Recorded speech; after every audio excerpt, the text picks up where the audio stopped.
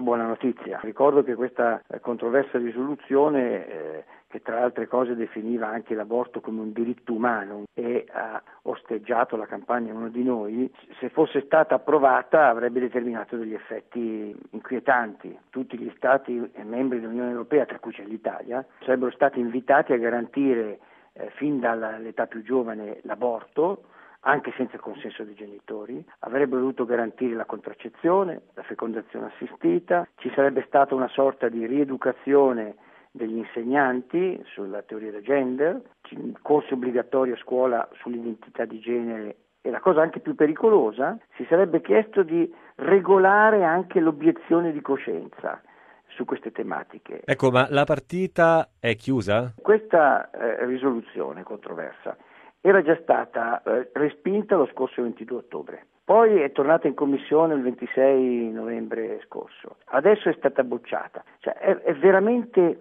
un accanimento, eh, lascia molto perplessi. Fa parte di un ragionamento molto complessivo perché qui dentro ci sta anche l'altro famigerato documento dell'Organizzazione Mondiale della Sanità sugli standard dell'educazione sessuale in Europa. C'è proprio un disegno eh, preciso, ben orchestrato che tende a estremizzare questa teoria del genere e soprattutto a una sorta di indottrinamento dell'educazione sessuale nei confronti dei giovani, anche nelle scuole. Chi chiaramente sosteneva questa risoluzione bolla come eh, ipocrita e oscurantista il voto dell'Aula. La stessa eurodeputata Estrella aveva usato parole fortissime nei confronti di chi si opponeva alla sua risoluzione, addirittura lo definiva chi, chi, chiunque si opponesse a questa risoluzione come, cito tra virgolette, un estremista conservatore di destra che vuole far tornare i diritti delle donne indietro di 30 anni. Ma qui siamo a, a, all'ideologia pura, la ragione non ha più spazio. Nella risoluzione si parlava di medici, tra virgolette, costretti a praticare l'obiezione di coscienza nelle cliniche religiose e si chiedeva,